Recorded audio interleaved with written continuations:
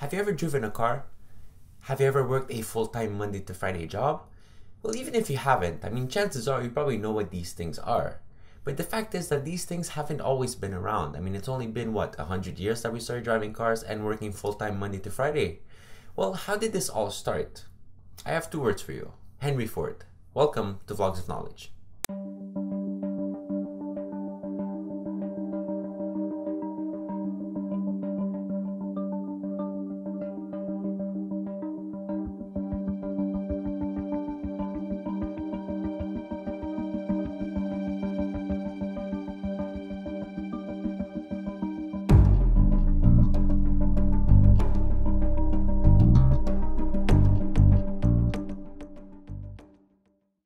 So, this episode is going to be a great one because we're talking about Henry Ford, the automobile pioneer that radically changed the way America works in the early 20th century.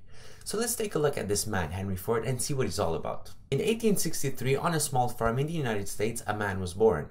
But it wasn't just any man, I mean, it was Henry Ford, the man who would soon revolutionize the American world. Ever since he was a little kid, it seemed like his life was all planned out for him. I mean, he was supposed to work on the farm, then take over the farm, and eventually pass it along to his sons and grandsons. The only problem was that Ford he didn't like the farm life. He didn't want for his life to just be working on a farm. He wanted something more. A few years later in 1879, he left his family, he left the farm, he went to Detroit to work as a machinist. There he learned how to work a steam engine and other kinds of machinery. A few years later, he left that company and he joined up with the Edison Illuminating Company. And yes, if you're wondering, that is Thomas Edison's company. Because of his skill, he was quickly promoted to a chief engineer, which gave him both the time and the money to focus on his personal projects and do some brainstorming of his own. It wasn't too long before he came up with the idea of a car, but back then he called it a self propelled vehicle. And after a few years of brainstorming and trying things out, he eventually came up with his first product ever, the Ford Quadricycle. Now, this wasn't much, I mean, this was essentially a horse carriage but without the horses. But keep in mind that this was a huge step forward because at the time people were not yet ready to think about automobiles as something that could be practical and accessible to the average American. Now, later on, because of complications with his previous company, he left that company, he found a few investors, and he made his own company. It was called the Ford Motor Company. And that's really where he started building cars. I mean, that's where he built his first race car, an 80 plus horsepower vehicle that he personally test drove on a frozen lake, reaching a top speed of 146 kilometers per hour and breaking the existing land speed record of the time. Great achievements for Ford. But that wasn't enough for Ford. I mean, it still took way too long to build and was still expensive to build. So he made it his personal mission to provide a car that was both cheap and accessible to the average American.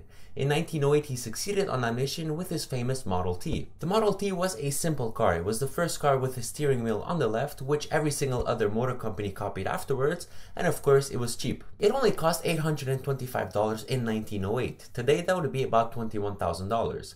Now, if you're thinking, hey, that's not so cheap, well, keep in mind that this was the first time that a car was commercially available for Americans. This was a new technology. I mean, when technologies are new, they're usually a lot more expensive. So $21,000 for a car, especially in its infancy, is a very good deal. But for Ford, that still wasn't enough. He continuously looked for ways to make it cheaper and faster to build. And Ford, he was a smart guy. When he wanted something, he usually found creative plans to get it. And he managed to succeed in that mission in some very interesting ways. So here's how. First, he applied the assembly line style of production to producing cars. I mean, before that, a car would take way too long to build and would be something that required a lot of skill. So essentially what he did is he broke it down into simple tasks that pretty much anybody could do. And the consequence of that is that you don't need skilled workers to produce a car since you made it so simple, anybody could do it. And also everybody's doing the same task over and over again. And when somebody does the same task over and over again, they tend to get pretty good at it and they tend to do it very fast, which increases productivity, and that was Ford's goal. He also offered his workers a flat $5 per workday salary, which was almost double what everybody else was offering.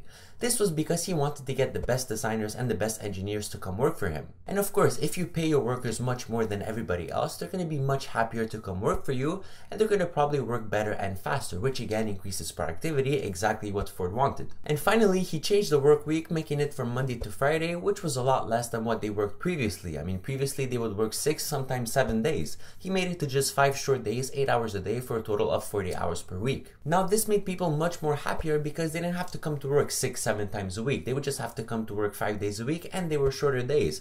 So when the workers are happier, again, they work better and faster, which increases productivity. But Ford had another plan as well. He thought that if he gave people more time off, they're going to have more time to go out and buy stuff, which stimulates the economy. And when the economy is stimulated, well, productivity is again boosted, which is all what Ford wanted. And by then, Ford's Model T had made millions of sales and it broke the all time sales record and stood strong for 45 years.